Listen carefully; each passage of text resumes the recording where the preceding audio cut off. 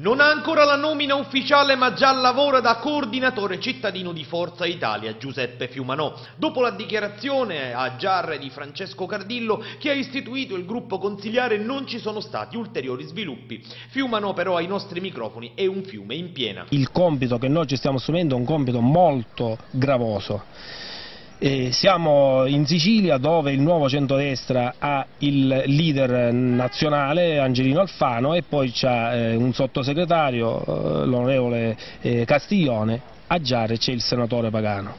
Ovviamente questo comporta un, un, un problema per noi eh, che chiaramente dovremmo cercare di, di risolvere aggregando il più possibile le persone. Io però dico questo, al di là del fatto che lei ritiene non ci sia stato entusiasmo, l'entusiasmo non c'è stato perché sino ad oggi il partito non si è rivelato. Però tantissime persone mi hanno contattato perché si vogliono avvicinare a Forza Italia, anche consiglieri comunali. Credo che nel prossimo futuro ci saranno anche dei, delle novità in consiglio comunale, credo che il gruppo consigliare di Forza Italia mh, mm, probabilmente prossimi, nel prossimo futuro sarà implementato. Poi per quanto riguarda la nostra attività, io ricordo sommessamente che il nuovo centrodestra oggi non è il vecchio PDL nel senso che da sei oggi sono quattro. Gli altri due, uno ha fatto una dichiarazione eh, chiara e netta di appartenenza a Forza Italia, l'altro si è dichiarato indipendente però non è nel nuovo centrodestra. Orazio Scuderi verrà in Forza Italia secondo lei, visto anche il rapporto stretto che avete? Sì, con Orazio Scuderi abbiamo un colloquio eh, continuo, è, è, molto più vicino a noi che al nuovo centrodestra ovviamente. Riteniamo che eh, fra l'altro eh, quest'idea del nuovo centrodestra è un'idea profondamente sbagliata. Perché sbagliata?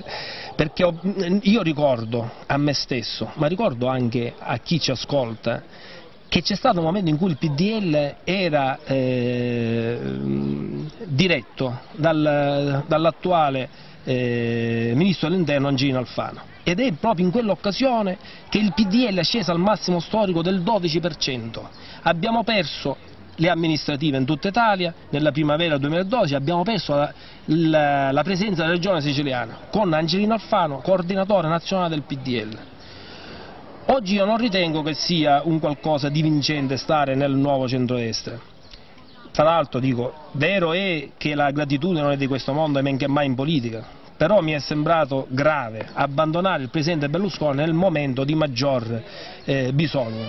Considero infine, questa è una mia considerazione, se oggi noi abbiamo un parlamentare a Giarre, questo si deve esclusivamente alla discesa in campo del Presidente Berlusconi, che da solo è riuscito a ribaltare ogni pronostico, è riuscito a vincere da solo il premio di maggioranza al Senato in Sicilia a quest'ora Giarre non avrebbe il parlamentare nazionale.